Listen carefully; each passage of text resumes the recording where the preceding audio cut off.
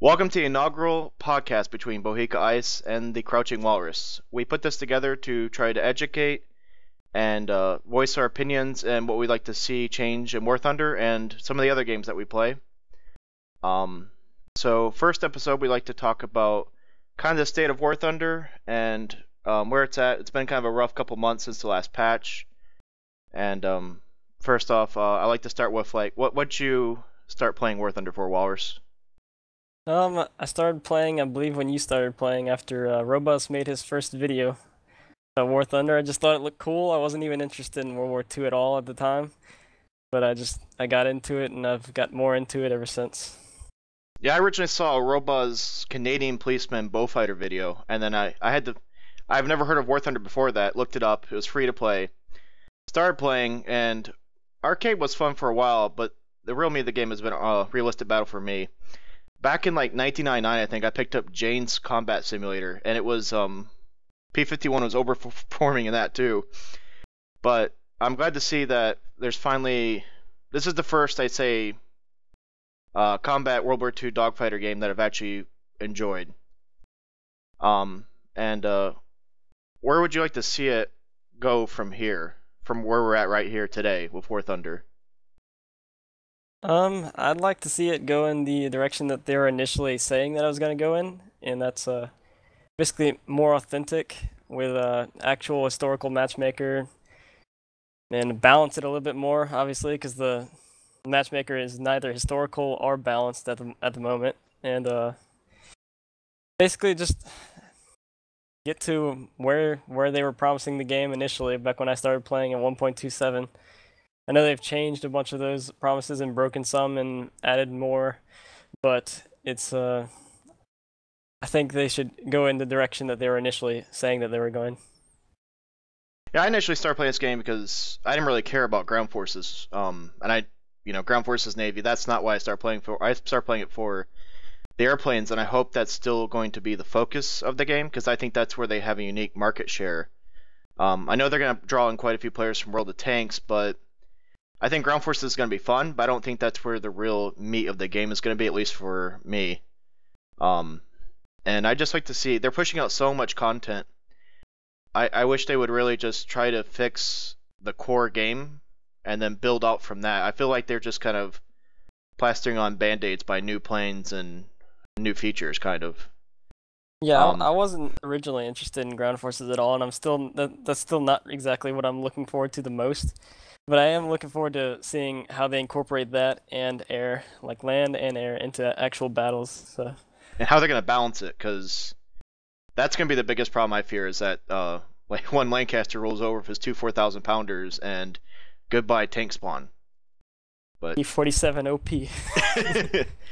um, and the main thing, like we've been living in kind of like the post-apocalyptic world of post one point or uh, patch one point three seven and I think we've lost some players. Some are still on the fence, some are playing less, and then some are still continuing on. And I feel part of the problem with 1.37 is that we all hate change as gamers and people, but there was so much change in 1.37, and not all of it was for the better. Um, and right now I'm on premium. Walrus is not a premium. I don't have a huge issue with the new RP system. Um, like especially for tier one, two, and three, it's not awful. But when I get to tier four, it's it's pretty hard to get planes up. And I know for you, you can't even do anything with the new economy as yeah, not I've, being a premium user. I've unlocked like three planes since the patch. um, but the matchmaker, how do you feel with the new maps and the new uh new matchmaker with the you know the battle ratings and like uh I don't know how oh, where it right goes now, from here. Well, right now it's horrible, but uh, I think that's mainly because they haven't they say that it's the base. The battle ratings are based off of data, and I, I don't think since the patch just came out, they don't have really any data for it yet at the moment. So I think that could only get better. And I do like the new battle rating system in the way that it can make it can essentially make whole new tiers for historical battles and arcade battles and also simulator battles. Because uh you know how it's it's different for each game mode. So that's actually one thing I do like about that matchmaker. I was gonna say in realistic battles, the kind of problem is that you can jump in an E1 and end up in a tier three game, depending on if you're on off-peak hours, which most of us in North America we're on kind of the 17,000 or less players. But if you get on nine o'clock in the morning, you can usually get in a good, you know, E1, E3 uh, kind of matchup in that tier area. But I wonder how battle ratings are actually working for arcade because in RB they can kind of be, um, you can actually jump a lot, a lot more than you should in Matchmaker. Um, Um, I remember seeing videos of uh, three tier spreads in arcades, so I don't think it's any better than that. So wishful thinking, but I think the battle rating system would work in a world with 50,000 players on all the time. I think kind of the problem is Matchmaker is trying to spread too thin, and uh, you know, so. Um, but like I said, there's a lot of players who have been unhappy about the game, and I don't want this to become a bitch fest. But we're gonna do a little bit of you know criticizing Gaijin, and uh, what we'd like to see from them, and how to make this game better. Because both Walrus and I both see the huge potential in this game, and we want nothing but for the best for the game, for the you know community. This is supposed to be entertainment, and uh, at times of late, it doesn't really feel like entertainment for a lot of us. Um, I know the biggest thing for you and a bunch of our members is flight models has always been. I know that's with Kobe. I know it's with Firefly. You know yourself that flight models has always been the biggest kind of game-breaking point. Um, have they made any huge progress with that in your eyes, or Um, not particularly. The one, one thing off the top of my head that I can definitely point out that they did a good job with was the, the Tempest flight model. Which, as you if you've played uh before 1.37, you know, and had the Tempest, you know the Tempest was one of the worst flight models in the game. that was And actually, yeah, now it's one of the best planes in the game as it should be. So they did a really good job with that flight model. They fixed the Doras and uh, besides the overheating. But off other than that, the only things that I can really think of are negative. They've actually think- made some yeah. flight models worse. I think it all comes down to my book. What I've I've been trying to figure out what is wrong with War Thunder for about two months now, and it's all boiling down as I keep looking at the problem to quality control inside their own studio, and that's one of the hardest things to do, especially with new people, people leaving. I don't, I'm not at their Moscow studio. I don't know. Um, generally, for a game company though, you want to make one, you know, you want to you want a quality standard.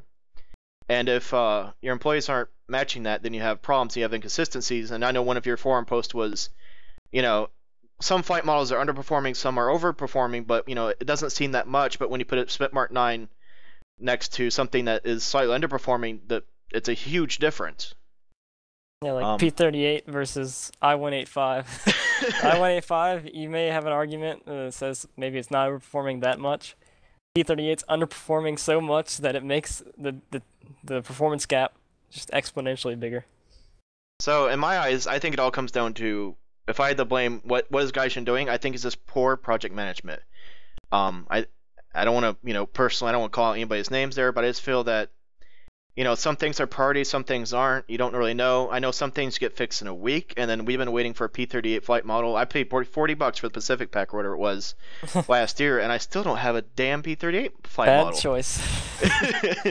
and so it's like I don't know where their priorities are, and but it's like it's a whole quality control thing. is that they just cut stuff out when it's like it's good enough, cut it, good enough, cut it, and it's so much work to go back and identify tweaks. I know that it's a multiplayer game, so it's gonna be balancing, but it's like if they just had a good quality control system before they signed off on things and put it in the game, I think it would just cause so much less heartache for us and so much less work for them in the future. I'm starting to think that they don't have any testers there at the studio, and they just use us as, as basically testers because I don't know how you could you could look at the say the Ki 84's flight model. That's the new plane 1.37 Yeah. for the Japanese. They've been waiting for that plane for like a year, and they, they hype it so much. They hype it so much, and then all of a sudden you get this. like, did they test this plane at all? Yep, I I, I just feel like you know, guys, and if you want um testers, Walrus and I, let's call it fifteen dollars an hour. You know, we're available 40, 50 hours a week. And work 15 golden eagles an hour. Um, and uh, the last two points I want to talk about for Gaijin are uh, communication and broken promises. There's been a lot of that, and I don't know if that's part of the problem of them being a Russian company and we're being English-speaking Americans over here, and you know, is it because we don't speak their native language? I know there's translation barriers, or um, but I know a lot of games. I've been in like I've been with the Natural Selection Two team since you know their closed alpha and did a lot of testing with them, and um, there's a certain amount of information that I feel that you should pass to your players. And one thing that NS2 did well, which if Gaijin really wants to, you know, get some really good points with their community, is put up a change log of, you know, they had like a red, orange, green system of red is uh, what they what what is most critical needs to be fixed now. Orange is, you know, non-priority, but what they should be working on. Green is good to go on the next patch. And you could go onto their, you know, website and you could pull up what their staff is currently working on. And and that's the thing is we it's kind of like a black hole with you know Gaijin's communication and what what what the hell are they doing? Yeah, well, in their defense, I've seen a, a, quite a few topics that like one every pretty much big every big patch they they seem to put out a topic on the forums that say like it says what's the most like what's the biggest priority to be changed for this patch. Like the community managers will put out a topic saying like flight models and uh, matchmaker balance issues like that, and people will vote in a poll to see which one's uh, the biggest priority for the community for that to get fixed. But they've been doing that. I said, as I said, for the past couple patches, and they don't seem to actually be yeah, where, that where does data. that data actually go? Like, Yeah. you know, does does he just go ha ha ha, comrade, and then put in the shredder? like, I, I don't know where the information goes, and I just like, you know, just to just to sharing. Like, we're we're players. We really care about this game. We, you know, most of us, you know, Lars and I put in over a thousand hours easy. He probably put in what 500 hours doing freaking flight testing, and uh, you know, we just we'd like to know what what goes on their studio. You know, like.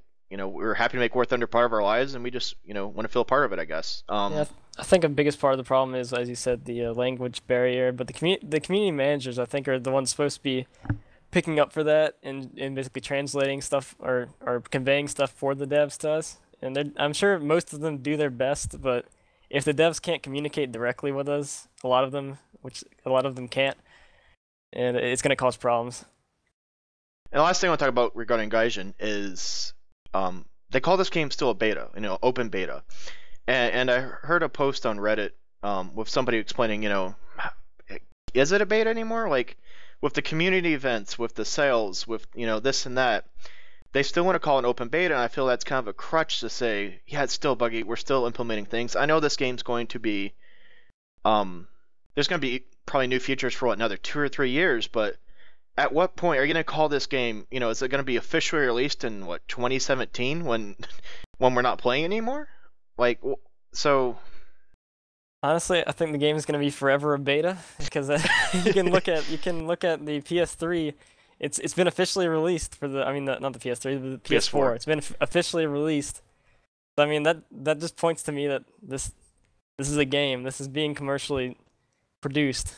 It's it's not just a test anymore. It's being people are paying subscription fees for it. Yep, I, I I'm on a year premium, and I would just you know, I just see you know War Thunder open beta every time I see that webpage, I kind of chuckle like, you know, on- once once this thing went live, you know, own up to it, say it's a released product, and you know it's a persistent universe essentially for War Thunder. You know, add on features. We understand that ground forces isn't done, naval isn't done, new planes are coming. We don't want a version 5.0 War Thunder in the year 2017 being the full release. You know, um, you know, fix what we have now before we add in more content. That's that's all I'm asking for. Yeah, that that also kind of makes me mad when whenever they the devs actually do respond to the community and say, "We've got we got so much on our plate, and uh, you can't expect all this thing to be all this to be fixed at once." Well, just stop adding content and fix what we already have in the game. that will make it easier on you. I understand that it's a lot of work, but they just keep pumping out more and more broken flight models, more and more broken mechanics that needs fixing. Then they if they just focused on what we had in game, then maybe people wouldn't be in such an uproar on the forums and such. Um, and the other half of this, you know, is is the community and the players. And um, first off, I'd like to say that I've met a lot of new people in my year and a half now in War Thunder. Um, a lot of them being international. I've never played a game that I've met people from Germany, Russia, Poland, you know, uh, was it Spain, Italy, you know, Britain, um, where else? I don't even know. Um, it's insane. I've never played, you know, 15, 16 years of PC internet gaming. I've never met this many people from so many uh, cultures and countries, and I think that's really neat. I, I hope that's, you know, something that continues in the future. Um, Except for those uh, Russian hackers. yeah, that's the other part. Is there seems to be a lot of Russian um, and English uh, hate you know, uh, you see the, the Russian, you know, language, and then you see vodka, vodka, vodka, drink, drink, drink, and and I guess that's to be expected. You know, the world's not a perfect place. I don't think it's Russianism. I think it's just a misunderstanding of cultures and languages. Um, there's always going to be that barriers. I I didn't take you know six years of Russian at the University of Moscow, so I have no clue what the hell they're saying to me, and I, they're probably cussing me out or they're saying I five. I don't know.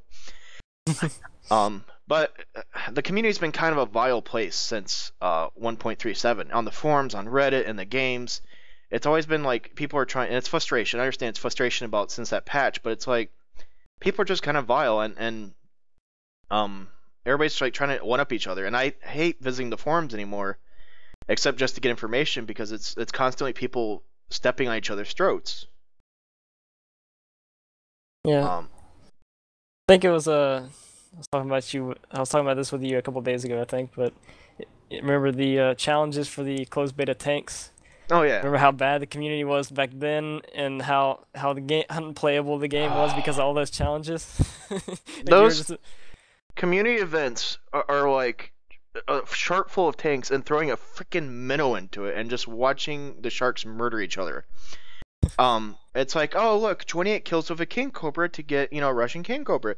That's easy. Except there's 42,000 Kingcobras in each game, kill stealing, ramming cuss you know it's just i don't know preschool you know i don't know in one ball yeah. um and it's just I, ugly yeah i actually even stopped doing the challenges about halfway through but even after that the game was pretty much unplayable for me because everyone else was biting each other's heads for the challenges yeah god forbid do not fly a bomber when you see big cannon or anything cobra challenges because you know they will all head on you fly directly to the forehead um and the last thing I want to say about the community is I, have I've reread it. I read the forums every day. You know, I watch a lot of YouTube videos, and it seems like everybody has a different vision and a different demand from Gaijin. And I think it's really hard for community managers to relay this information back to the devs because some people want paper airplanes, some people want you know uh, prototype airplanes, some people want flying tanks, some people want this, some people want that, and it's like I, I feel like Gaijin in some ways is being pulled in 300 different directions. And I think that as a community, we need to put our, you know, try to narrow down our demands of this game and at least give Gaijin a uh, fighting chance to um, make the product that we want. I think it's actually partially on Gaijin though, because they really haven't been clear on their goals of the game. I don't even know if they have any goals at this point, any set goals at least for the game. And uh, War Thunder's picked up new players along the line. We we both started playing around like 1.27, I think. Yeah, around there. A little bit before and, that, I think, for me. Yeah, and and uh, so I mean, we we've started playing back when guys were making their pretty much original promises of historically authentic matchmaker, good flight models, stuff like that. Now they moved on to saying maybe they'll be a little bit lenient with the cutoff years and stuff like that, adding Japanese sabers and Rush and uh and uh, German MiGs and stuff. They've just been adding adding new stuff, breaking promises, adding new promises. and so some people are, are joining the game after seeing some of these new promises, and they don't necessarily have the same expectations as people that started playing earlier on. My expectations are when I see it posted on the launcher tab on the left saying, you know, this has been added, I go, oh, cool. I, I don't even bother kind of looking at what, what the future holds because it, it changes almost in flux every day. That's what it feels like to me. Um, yeah, from but, from reading some of the AMAs and uh, and such, I've I've gathered that they don't really have a set direction with the game that they're going. Well, that kind of goes back to my project management, you know, uh, statement I made earlier. Is that you know it's an investment. Every game will fail if they do not have strong project management. Yeah, this is what this is back. This is when they fall back on the it's a beta, it's a beta, it's a beta excuse. Yeah, it's always yeah. changing. Um.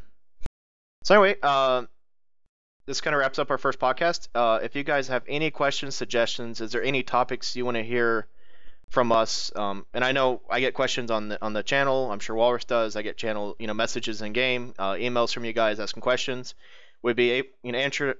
Oh my gosh, happy to answer them um, in the future. And uh, we couldn't actually come up with a name because we're kind of creatively stumped. So if you have a name for the yeah the the Bo Time crouching walrus podcast, you know, uh, endeavor, if you have a good name for it, you know, something uh, short and snazzy, we'd like to hear it.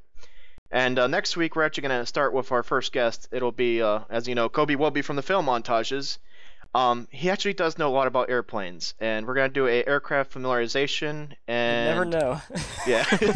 well, he's actually been our go-to guy every time we have a question about engines, about control surfaces, about models. Um, you know, he he studied this stuff now for, God, probably 20 years. I don't know. Um, but we're gonna talk about you know control surfaces, uh, engines, and kind of the more mechanics of how the real-world airplanes uh, relate to War Thunder airplanes, and how can it make you a better pilot. Um, so be sure to tune in next week, and if you haven't subbed to Crouching Walrus's YouTube, he has uh, combat tactics. What else? He got flight model analysis over there, um, cinematics, and a badass chocolate chip cookie recipe. Oh yeah, I haven't uploaded in about two months, but I'm working on. I've been working on a, a new tactics video as my thousand subs video that I got, I think two weeks ago. Then, and um, I've been working on that for a, a couple weeks. So stay tuned for that if you actually do sub to my channel. All right, so for Bohica Ice and Crouching Walrus, uh, we're gonna sign off, and let's go play some more Thunder.